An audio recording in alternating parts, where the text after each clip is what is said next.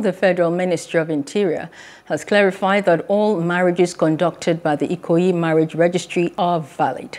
In a statement on Tuesday, the ministry faulted reports that marriage certificates issued at the Ikoyi Registry are invalid. The ministry's permanent secretary and principal registrar on marriages, Dr. Shuaib Belgore, said in a statement that there are existing court judgments empowering the federal government to conduct marriages by virtue of legal notices issued pursuant to the Marriage Act. He said it is further worthy of note that the issue of formation, annulment, and other matrimonial causes are by virtue of item 61 of the first schedule of the 1999 Constitution. Or joining us live to discuss this is Ola Adeosun, legal practitioner, human rights activist. Hello, Mr. Adeosun. Yes, good evening. Thank you for having me. Good evening. Well, this issue is up again. Well, the Federal High Court in Lagos had just passed that judgment nullifying all marriages conducted and certificates issued by federal registries, including the almighty Ikoyi registry. Now, how is this, what, what, should be? What is it really right now? Um, unfortunately, I'm yet to see the, the judgment on that reference. Uh, hence, I won't be speaking to that judgment. Rather, I'll be speaking to the issues generally as it has to do uh, with the tie of government with the constitutional power to regulate marriages and powers of the local government on issues of marriages. Uh, I've seen lots, lots of instances where you people in the media, both social and conventional media, wrongly interpret uh, pronouncements. Hence, I'm always very careful not to form opinion on legal issues based on news reports.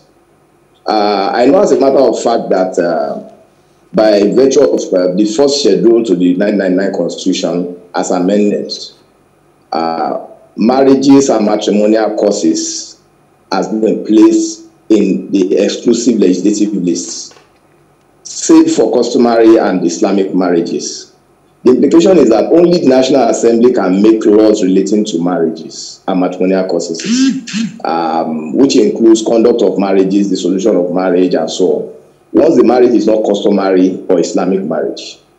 Uh, it's also true that the first schedule to the same constitution places re uh, registration of marriages at disposal of local governments. Uh, the question to ask at this stage is, can the question, I mean, can the registration of marriage be the same as regulation and certification of marriages? Can In it? my view, I, hello? Can it? No, I don't think so. Uh, regulation and certification of marriage is different from registration of marriage. The same first schedule to the Constitution gives the power uh, of registration of births and deaths to the local government. Now, the local government will only register births after the parents of that child has christened their, the child, given the child name and done everything. All the local government does is to register it, not to, not to perform the function of christening that child.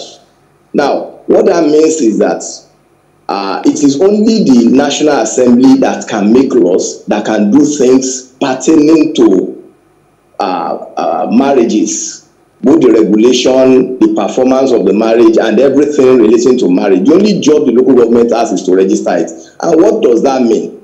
It is only the federal government, I mean, the federal government registry under our laws that has the power to make, I mean, to to to uh, conduct marriages as uh, so to say, as is being done.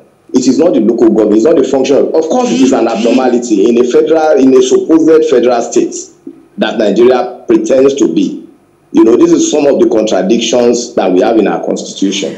A in a federal state, it's not the business of the federal government to regulate marriages of any sort. But unfortunately, that is our law. I listened to the learned Silk uh, Anaba. Uh, his position, with due respect, I disagree with it. The only job the constitution gives to the local government as far as marriage is concerned is registration. Now, you won't say because the local government, the, the constitution says the local government should register births, so the local government must go ahead to christen the child. In fact, the only type of marriages that the constitution gives the local government power over, I mean, that takes away from exclusive legislative list, mm. uh, is, the is the tradition is the cultural I mean traditional marriages and Islamic marriages. Even that traditional marriage and Islamic marriage, is it the local government that conducts it? The answer is no. It's not the local government that conducts Islamic marriages. It's not the local government that conducts traditional marriages. The only thing they do is when it comes to the issue of dissolution of marriage, they now go to customary courts. Okay, because time, because of time, you know, you've said a lot of things right now, and we need to make this very clear to all listening. Um, first of all, the fact that the uh, ministries, uh, that's the Ministry of Interior, that the permanent secretary has come out to make categorically clear that those marriages conducted in uh, a Ikoyi registry, for instance, remains valid means that something was said that was worthy of response. So that takes it away from the realm of speculation. So that brings me to the next, hold, because of time, hold on, because of time, let, let me just ask you the next, Mm-hmm. If you read that statement, I've seen the statement from the Ministry of Interior. That statement, with due respect, is uh, fundamentally flawed and contradictory. In one breath, they said it is uh, it is fake. In another breath, they said uh, it is uh, it's against previous judgments of the court. So whoever drafted that statement, I mean, it shows the kind of people leading us at the civil service level. It's unfortunate. That statement is not supposed to come out from that high office. Mm-hmm. What I'm saying, I've not said the judgment was mercy. What I'm saying is that I don't know the content. So I cannot really speak to Okay, so let's take it as it is right now. Let's take it as, as it is right now. Let's take it as it is right now. And try to answer the question which borders on the faith of those with marriage certificates from the federal registries. Um, so what becomes their fate? Okay, let us now assume that there's actually a judgment of court that says all marriages conducted at that federal registry, mm-hmm. I mean, mm-hmm. that federal registry does not have the rights. The implication is that every marriage conducted at that, at that registry is null and void. That's the implication in law. Wow. Except there's an appeal against that judgment that sets aside that judgment or nullifies it. Any marriage conducted is null. However, there's a caveat.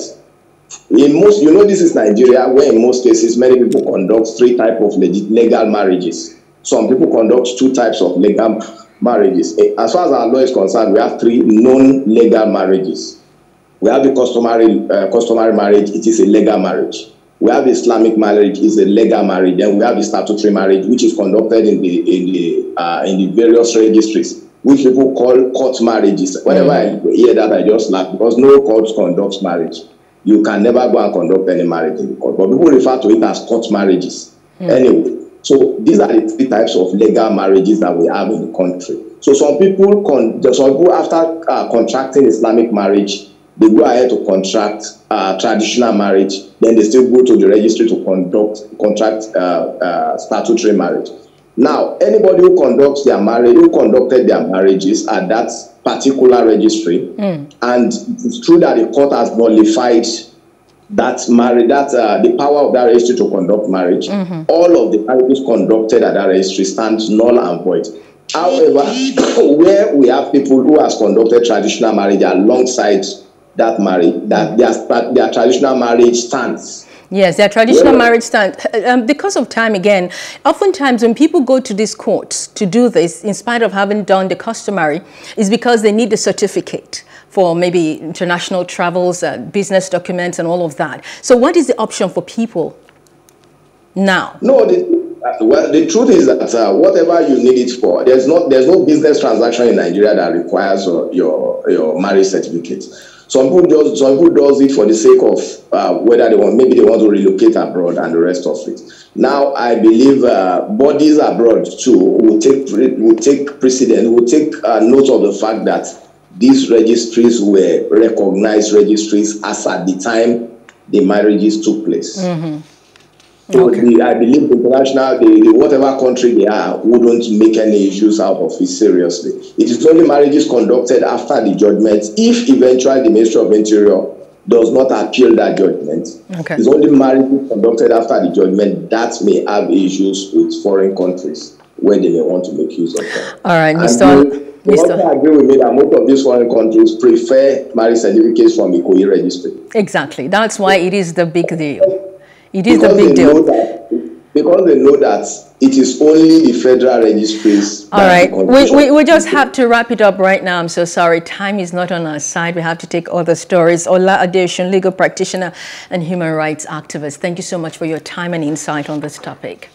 Hello. Hope you enjoyed the news. Please do subscribe to our YouTube channel and don't forget to hit the notification button so you get notified about fresh news updates.